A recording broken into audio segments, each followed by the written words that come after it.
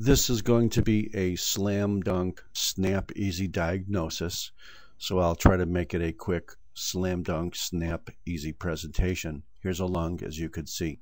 Here are lymph nodes uh, in the lung near the hilum. Notice that in many lymph nodes, if not most lymph nodes of the lung, even in normal healthy people, you'll see this little stippling of anthracotic pigmentation all throughout the lymph node. So if you get a well-defined focus, which is totally void of normal anthracotic pulmonary lymph node stippling, you'll think that there's something in there that shouldn't be in there. See, here's the lymph node. Here's the nodule. Here's the lymph node most of it is replaced by two or three big nodules. Here's another lymph node. Here's a nodule. Perhaps these are smaller nodules. This blacker area could very well be normal lymph node.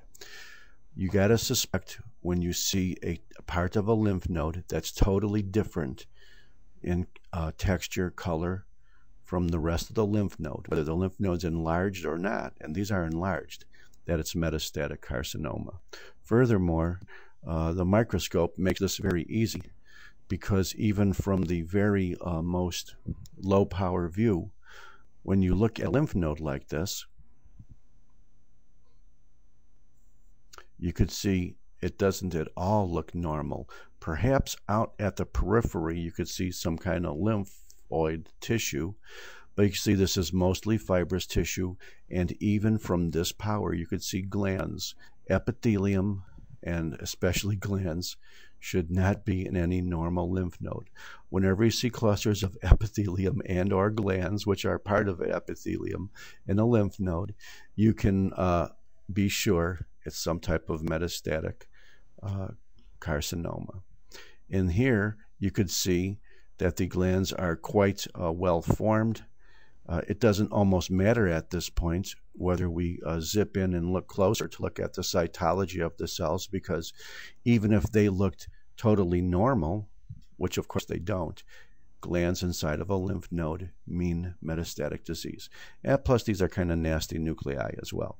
They're uh, oriented a little bit with the nucleus towards the base, but they're big and dark and yucky enough with a nice, a nice number of mitoses like here and here, where even if you uh, did not know this wasn't a lymph node, you'd probably call it cancer.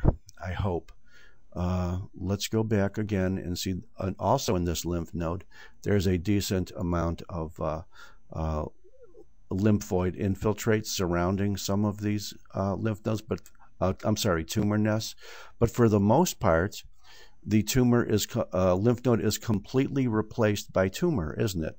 There are some uh, residual follicles left. There's a lot of fibrosis along here and here and here. But I think maybe oh, here's a lymphoid follicle here. Whether that's a reaction to the tumor or whether it's a remaining follicle, it probably doesn't matter.